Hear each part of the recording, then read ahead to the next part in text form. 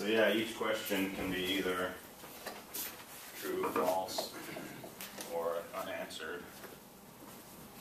So this is assuming that if you do not answer a question, you can still answer the following question. What Sure. if you were to make it so that if you were to not answer that question, that would be the last question you answer?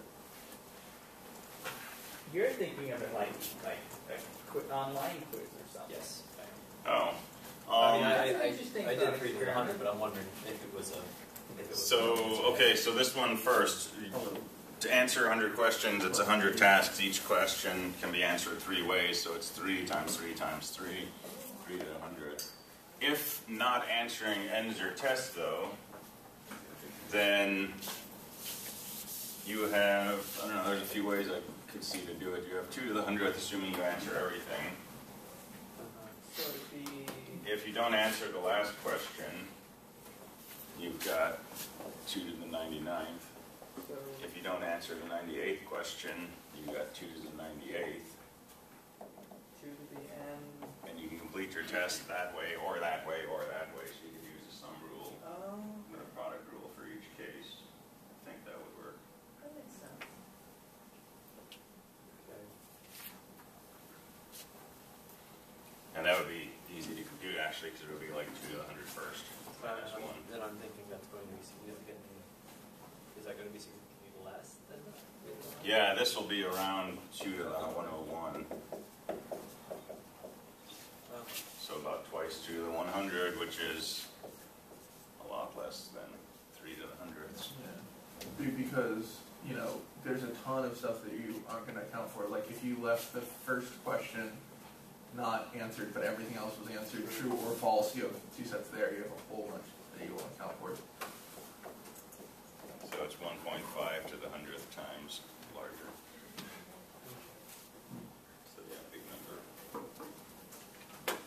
numbers. Yay. Big numbers are, are interesting. There's a whole science to how to work with big numbers and how to write them. And it Goes way beyond weighted positional. Why don't you just write them with a pencil and pen? Yeah. Um, assuming initials are taken from uppercase letters, how many three-letter initials are possible? Um, A through Z, 26 options for the first initial, 26 for the second, 26 for the third. That's a straight product rule. Question three, same thing, but you can't repeat. 26 ways to pick the first initial, 25 for the second, 24 for the third. So it's the number of, of three combination, three permutations.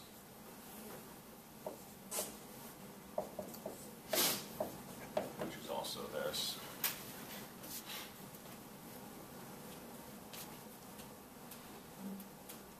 Question four was a pigeonhole question. A set S consists of positive integers, no two of which are congruent to each other, mod 17. What's the maximum number of elements in the set S? So make yourself buckets based on congruence mod 17.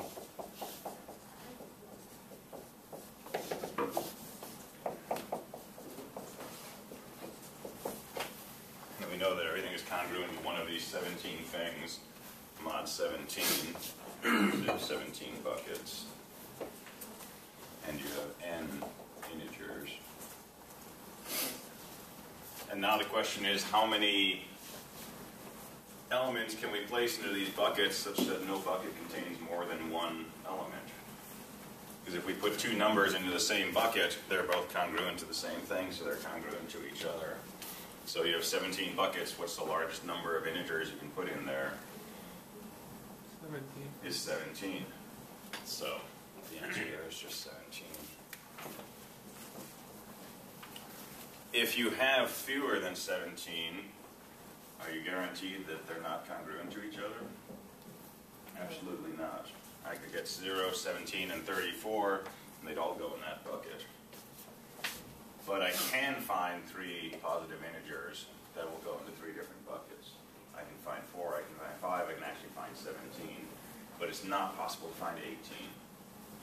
So 17 is the maximum uh, possible size.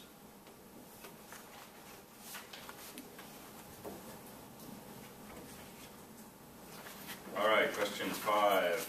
A set consists of 10 elements. How many subsets of size less than or equal to 4? So products and sums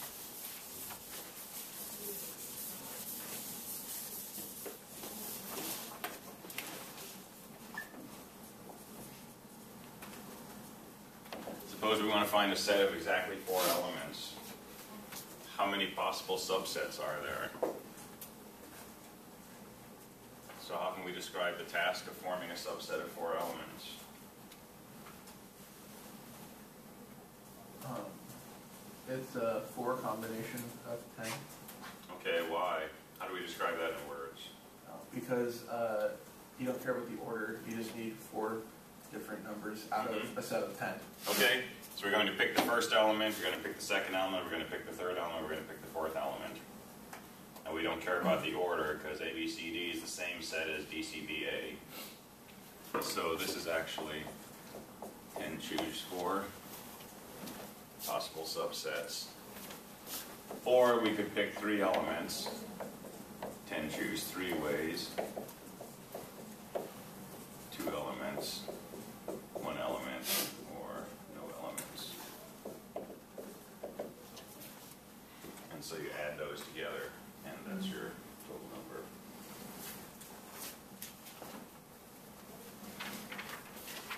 So this is like two ten, one twenty, forty-five, ten, and one, three hundred and eighty-six. This one? Empty set. That's the empty set, no elements. That is a subset.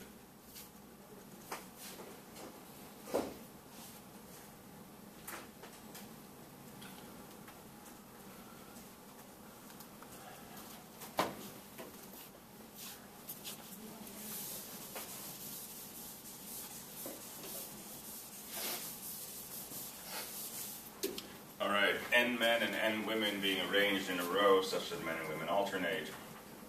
How many different ways can these people be arranged? So let's do a sub-question. You just have n men, you want to put them in a row.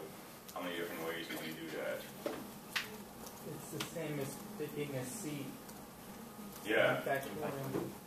n factorial, right? The first person in the row, you have n options for that.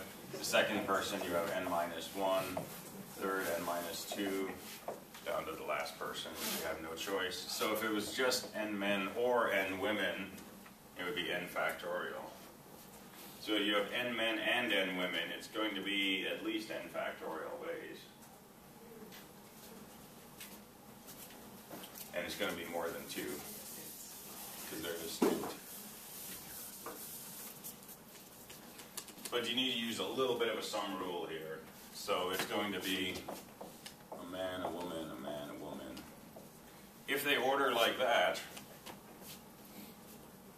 you've got a total of two n. So how many ways can we pick this first person? Uh, and. Ten. That's n. How many ways can we pick the first woman? And. That's n. Second man, Ten minus one. n minus one. Second woman,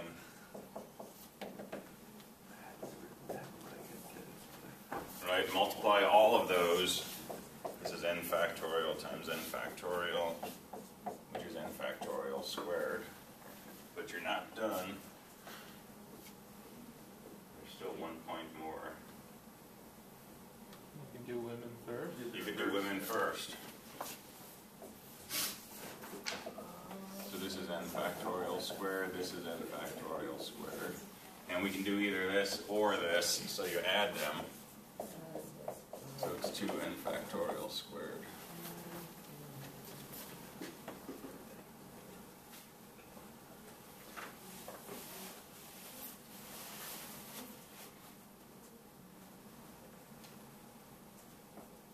All right, and last question was Pascal's triangle. And we talked about the entries of Pascal's triangle corresponding to binomial coefficients. One plus x is a binomial, monomials. Um, and when you raise a monomial, a binomial to a power, you get this big long expression.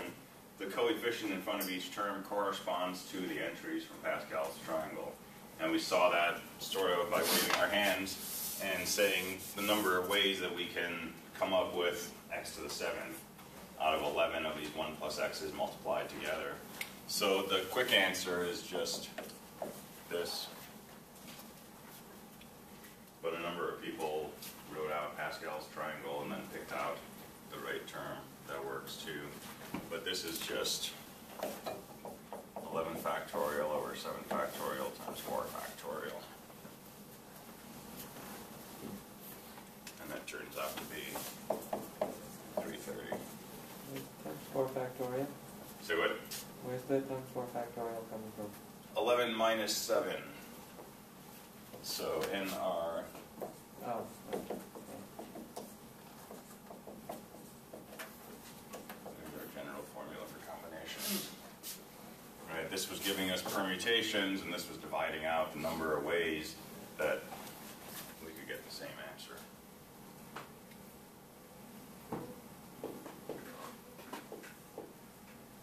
Or this was permutations. This was the number of ways.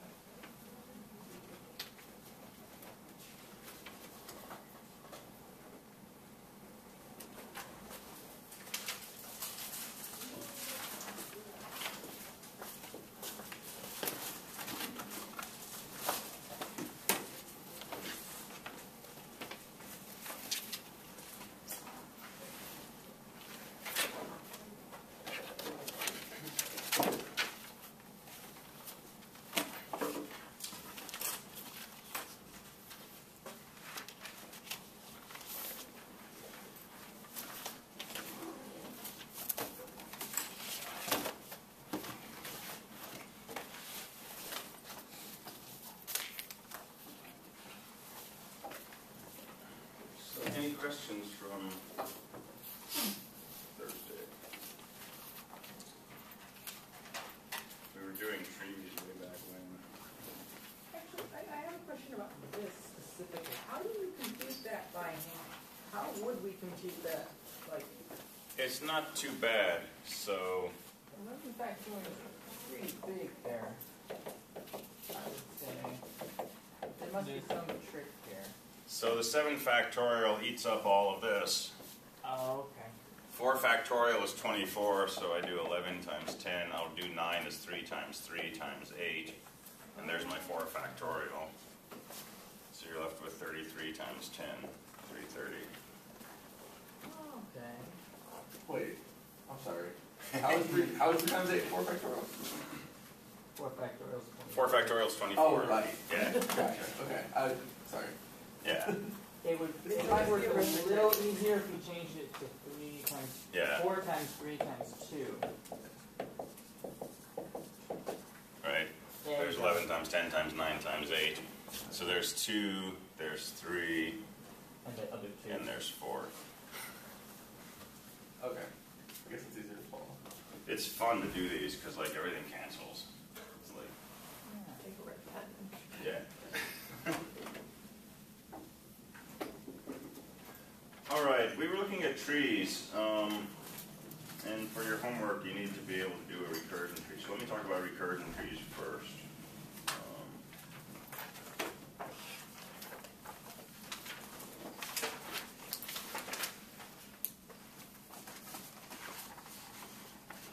You know, my great examples worked out. I don't have them with me, so I'm gonna have to wing it. That's okay.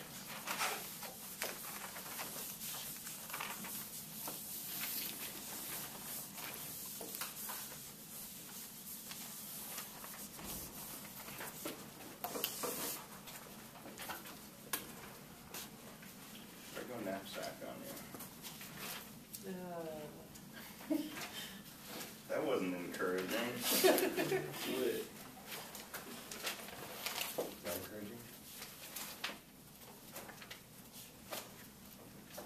All right, I'm gonna go knapsack. Um, this is, this is a problem we'll, we'll dig into in a lot more detail next term, but, um, let's talk about the knapsack problem. I might have mentioned this briefly. Um, But here's the idea, you have a bag that hold, say, twenty pounds worth of goods. And you want to fill it with as much value as possible. So you go into a room and there's an inventory of items. So, um, I don't know what we got. We got pencils, which weigh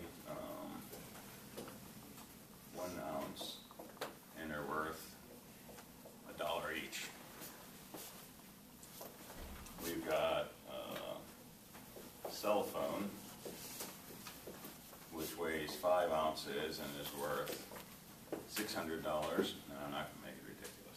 It's worth $20. It's a Samsung. No, sorry. Um, we've got a laptop which weighs 10 ounces and is worth $6. That's my thing.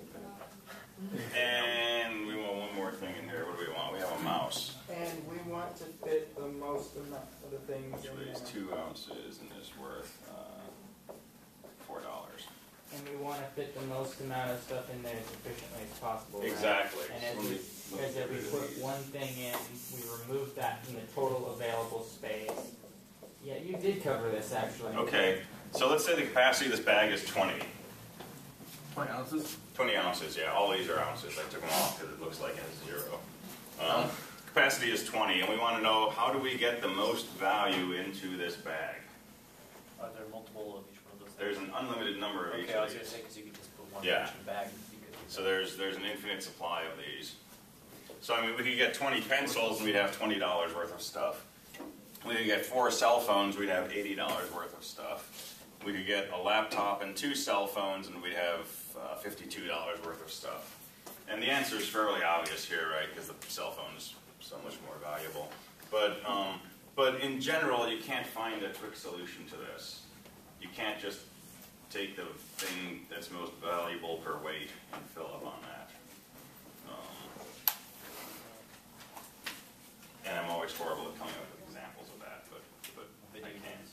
Yeah. Um, so the question is, how do we get the maximum value out of this, this twenty ounce capacity? And here's how we can do this recursively. Okay, so we can say, um,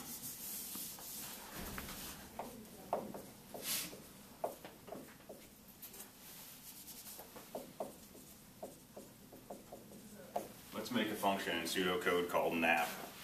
Yeah, So, why can't it just be simply the most valuable thing? Like, what if it, if, if it just doesn't fit, if there's room left over, you just go before, then you go to the next most valuable. that doesn't always work. And like I say, I'm horrible at coming up with examples where that doesn't work on the fly. What if the most valuable thing is really, really heavy, and you have a lot of smaller things that are slim- similarly valuable? I mean, like Yeah. price to performance ratio. If you all Yeah. make it a ratio, we'll It won't, it won't work because we can't take fractions. But then you take the instead you just go to the highest you can possibly, and then just take the next most valuable thing. Right, so if our capacity was six, then we could fit one of these, but we might have something that weighs three and is almost worth twenty, but we could fit two of them. And if it's worth more than half of this, it's still gonna end up being not as valuable per ounce. But because we can fit two of them and we can't fit one point two of these, we'll end up being better taking that lighter thing, the thing that's not as valuable. And you can concoct examples, like I said, I just have a hard time doing it on the fly. Okay. So here's how we can solve it. Um, make a function called knapsack. You give it a capacity, it returns the maximum value. Okay? So return max value possible.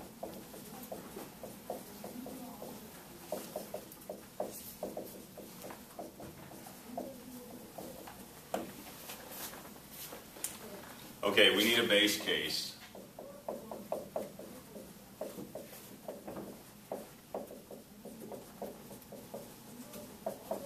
If our capacity is zero or negative, return a zero.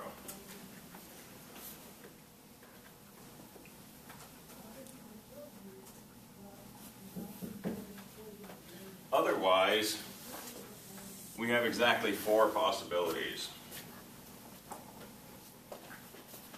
Case one.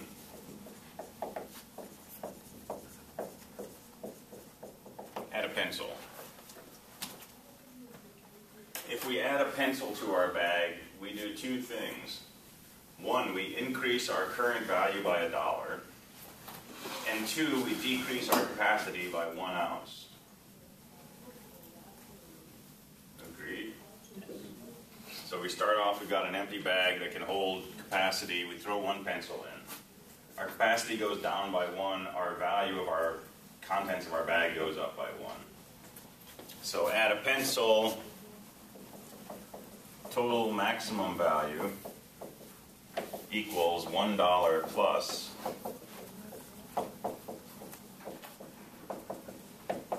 the maximum value we can get out of a bag that has one ounce less carrying capacity.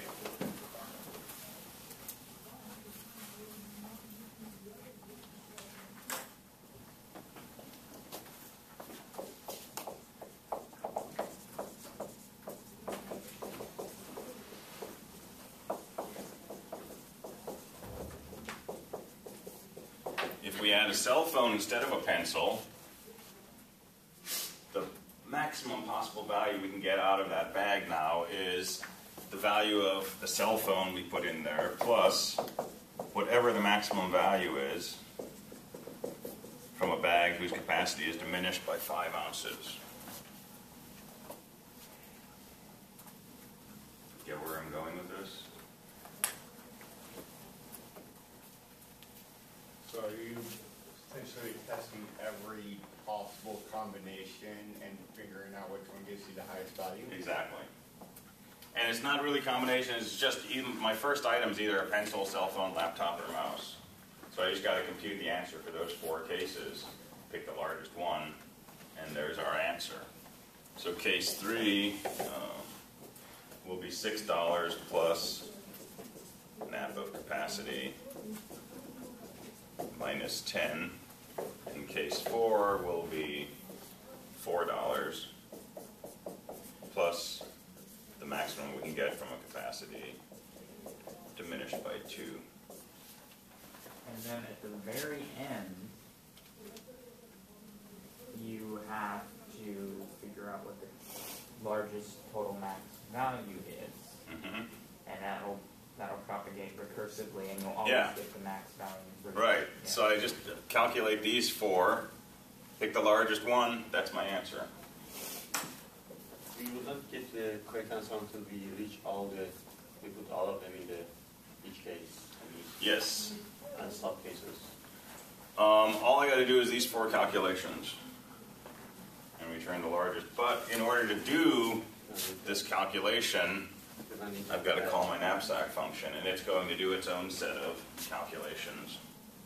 So so it's going to be like a question we had in the question for Fibonacci. Mhm. you know, about Yeah. That Yeah. So really simple recursive functions are right. Really inefficient to run. Okay, you put in 10, 15 items and this will never come back. It's really grossly inefficient, but pretty simple to write. Is this like, okay, like apparently there are algorithms for going between different points hmm and finding the most efficient way to go through a bunch of different points is really hard. Yes, Apparently, is this the same thing? that's an understatement. No, this one's not that bad. Um, you're probably talking about traveling salesperson problem, which I, I don't know what it's called. I just read that somewhere. Yeah. internet. that's like an n factorial problem. So we're going to talk about traveling salesperson later, but we can mention it now. So TS, the question is, you have n cities, and you want to start at a particular city and visit every other city. And there's a distance from each point to every other point, and you want to know what's the most efficient way to visit all these cities. What's the shortest total path that lets you go from point A through every other city? And it's n factorial possibilities. So to simply try every possible path is very expensive. n factorial time. Yes. So for 100 cities, good luck. um, and you can approximate it, and you can get within, say, you know, half percent of your best solution in much better time. But to solve the general traveling salesperson problem, it's a huge area of research. Um, and it's a really popular area for so-called amateur mathematicians and computer scientists. Because again, it's one of these problems that's like really enticing. It's really easy to describe, and you can imagine how to start trying to tackle it. Um, but it's so phenomenally difficult that it's actually been proven that if you can solve that problem in what's called polynomial time, something like n squared or n cubed versus n factorial, you can change the world. Because if you can solve TS in polynomial time, there's a big list of other problems that you can also solve in polynomial time. And that's something called P equals NP. Oh. Yeah, there's actually a movie on Amazon, I think, called P equals NP. And it talks about a group of mathematicians who solve this problem. And it's a really weird movie. And half the movie is spent like staring at a clock on the wall ticking like, during moments of tense silence. Um, so yeah, so that's that's a fascinating uh, question, and it's an open question. Nobody knows if you can do it or not. But most uh, most journals have restrictions on whether or not they'll accept papers claiming to prove this, and they'll only accept like one paper every two years from a certain person, stuff like that. It's a really famous problem. Yeah. So if you can estimate it accurately enough, or at all, if you can estimate it to just fifty percent, that Mhm. should narrow down the possibility space, and you could get a valid answer, right? I don't think so. No? you can get a solution that's yeah i mean it should, should narrow down some of the options for example if you know you can do this in less than a thousand miles then you shouldn't start by going to a city that's more than a thousand miles away so you cut your space down dramatically sure but apparently you still can't get to a polynomial time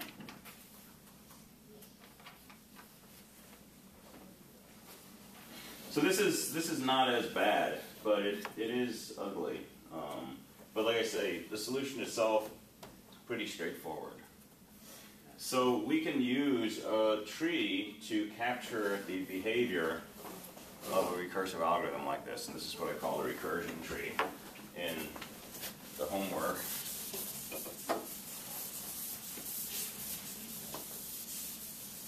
So here's how this works. We're trying to solve this problem for the capacity of 20. To do that, we need to solve four subproblems. Capacity of 19, which is where we add a pencil. Capacity of 15, where we add a cell phone. Capacity of 10, where we add a laptop. And capacity of 18, where we add a mouse. Once we know the value of our function for each of these points, we can do our simple calculations. This value plus 1, this plus 20, this plus 6, this plus 4. Pick the maximum and we're done. In order to compute the function's value at 19, we need to do four possible cases. We need to diminish it by 1, diminish it by 5, diminish it by 10, and diminish it by 2. And in order to do 18, we need to do four subcases. Diminished by 1, diminished by 5, diminished by 10, and diminished by 2. And you can see what's starting to happen here. We haven't even looked at these cases yet. We haven't looked at these cases. I'm just kind of following this leftmost branch and I'm getting all kinds of, of pain and suffering. And you're just gonna go down to less than to zero, right? And we're going to go down all the way until we get down to zero. And that's going to come back immediately without any recursion and say maximum value is zero. And then we can start coming down other routes. So eventually we might come back to here and come down here to case of 12. And for 12, we're going to have four cases also. right? Diminished by one, diminished by five, diminished by ten, and diminished by two. And we gotta go down all of those. Grossly inefficient seems like kind of Yeah. understatement. Yes, definitely. But we can draw a tree like this to understand how the system's going to call this routine, how this routine's going to call itself over and over again. Now, in this case, I'm not going to draw the whole thing out because I think it has around 4 to the 20th nodes. I was thinking if we have question like the one in the uh, homework, Mhm. can is there any way to like link to one of those subtrees because they are going to just repeat each other? Yes, and that's something we'll do next term. It's called dynamic programming. For example, um, Kind of like caching the result. Yeah, caching your results exactly like that. For example, once I compute this value 7, I don't need to go down all the branches to find this value 7. The first time that I calculate this, I just save it in memory. And when I'm evaluating my function at a particular value, I check my memory cache and see if I've already done this. Shouldn't, wouldn't that be as easy as just making a 20 unit long array and That's all it is. Yeah, that's what you're doing. And basically, when I start off down here, I'll come down this left branch, I will calculate all of my functions. And I won't actually get an answer until I come down here and I get to zero. But once I come up here and I get to 16, when I pop up here, I'll already have done 12 and 7 and 15. So those will just come back right away from memory. trims out the And when I come up here, I'll have 13, 8, and 16. That trims off a lot. That takes you to order n, basically. 20 Yeah. capacity, you'll do 20 calculations. Yeah. So then you go from something that takes 2 to the 40th operations to 20 operations. So we'll play around with that. Um, the essential point for this class is just the idea that we can use a tree to represent this call structure. But but that's one of the the idea of caching the memory is one of the ways that you were saying that you could combine recursion and some other concepts to make an efficient thing that's easy to write. Yes, yes. Cool. All right, so we won't finish this out because that's 10 to the 24th possible nodes. 10 to the 24th? I think so. 2 to the 40th? Where are you getting these numbers? Uh, four branches on each level and 20 levels. Okay. So 4 to the 20th, that's 2 to the 40th, right? 4 is 2 squared, Uh, which is 2 to the 10th to the 4th, which is 1,000 to the 4th. Oh, you're just talking about the left left left side. No, the- well, yeah, Yeah. sort of. It kind of dominates the rest of the equation. So it's not that bad. It's a million million. so let's look at this for Fibonacci's. Um, let's just look at Fibonacci 4. So to calculate the fourth Fibonacci number, we need to calculate the third and the second. To calculate the third, we need to calculate the second and the first. And to calculate the first, we need to calculate the second, we need to calculate the first and um, the zeroth. So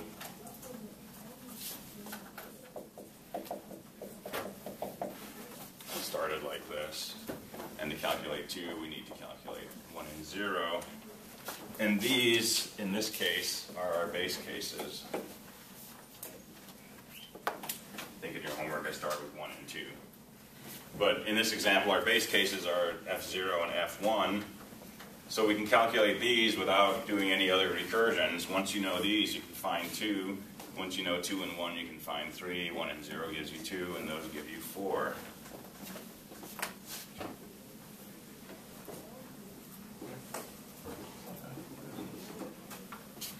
So in this case, we're doing 1, 2, 3, 4, 5, 6, 7, 8 recursive calls to find F4.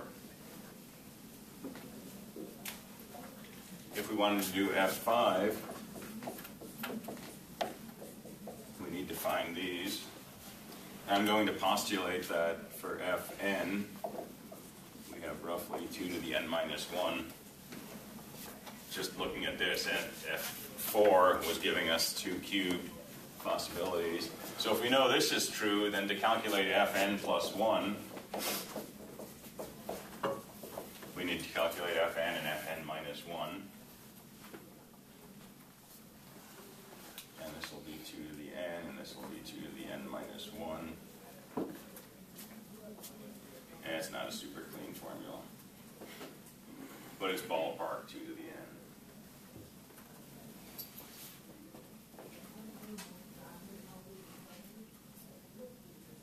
And again, if you use dynamic programming, this becomes a lot easier. Once we calculate what F2 is, we don't need to do all of this to find F2 over here. We just pull it out of memory.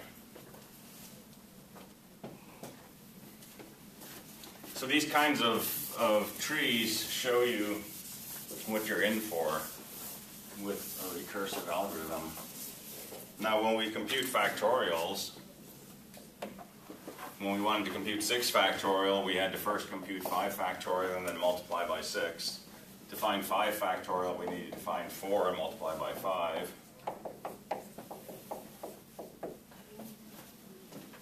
And 1 factorial was our base case. So we're only recursing 5 or 6 times here. This is like an order n situation. It's not blowing up the way Fibonacci's or knapsack problem was. What would a triangle number recursion tree look like? Same thing. Kind of similar to this one, right? Yeah, so So I was trying to think of how that would work in my head. Yeah, it seems it would be so if n is 1, return 1, otherwise return n plus triangle n minus 1. yeah. It's the same thing. In fact, the recursive code is identical. You just change one multiplication to an addition. Gotcha. So to compute 6, you need 5, 4, 3, 2, 1. So those are linearly consuming resources. Not too bad.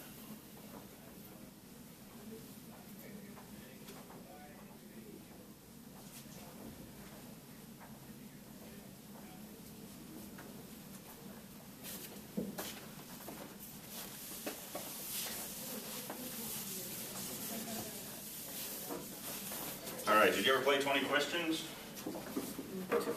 Too many times.